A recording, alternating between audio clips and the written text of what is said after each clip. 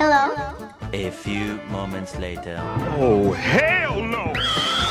You better stop! Stop!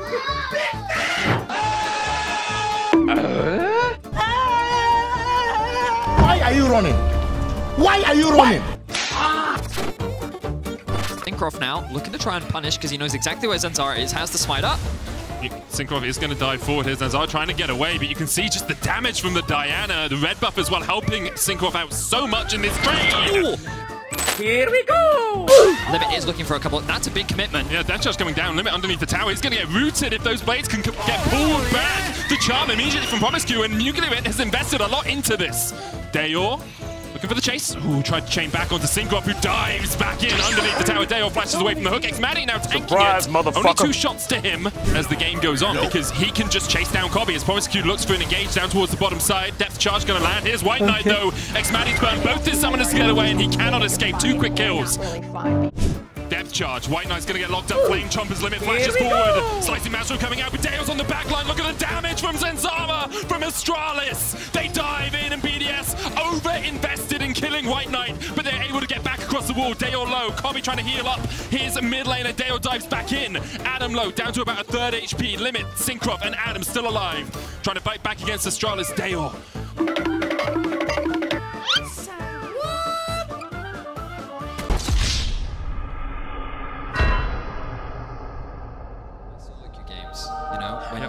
Berlin Internet. when you exactly, you're just like you're clicking and you're like, wait, wait, no, no, no. We're talking about windows here, though. Dajor locked up depth charge. There's the stopwatch. Promised you getting onto the back line, though. Immediately chunks a half HP. Limit down. A good double root coming out as well, but White Knight is already locked out of the fight.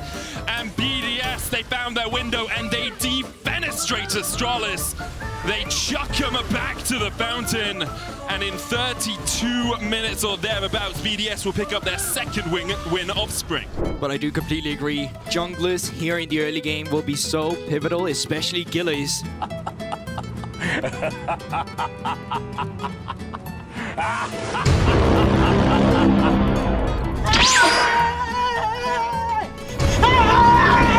Why are you running?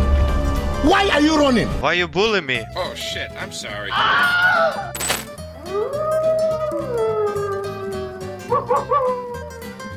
Zar for what?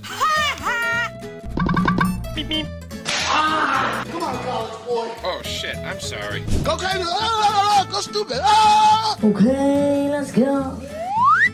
Oh, hell no! Big shield, ulti coming out from Gilius, ulti coming out from Cinkrof. It's getting lower and lower. It's going to come down to a 50-50, a smite fight. SK, can they sink their burst damage? That's the Victor all now going in. Might be BDS looking for a little bit more of a flag. Fast as fuck, boy. Fight continues. Big damage coming in. That's the Realmore coming into the backside as well. Gilius going forward. Rise going to go into the midst of the fight. They're going to take down Treatz. And it looks like they're going to get a little bit more as well. Gilius running limit. To find a win condition together. And it's hard. Gilius falling behind in the early game certainly cost him a lot, but Adam getting caught out. That's big. That's a start. This could be the Got him! Oh no! God! No! God, please, no! No! Hello, cutie pie.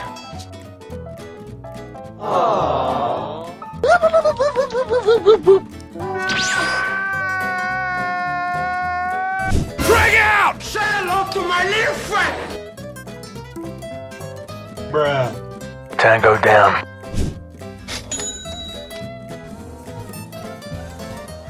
Let's do this. BJ's at the Eshril. They're just off shifting forward. Croft going in. Goodbye to the 80 carry. One damage source gone. Super minion wave coming in as well. One tower going to fall Nuclear just standing on the front line. Four members of SK just walking back into the fountain. Maybe they get a kill on a Nuclear and he steps back into the Graves damage. He's going to survive for now. Nexus going to fall. BDS up to three and four. SK down to two and six. A clean win from the side of BDS.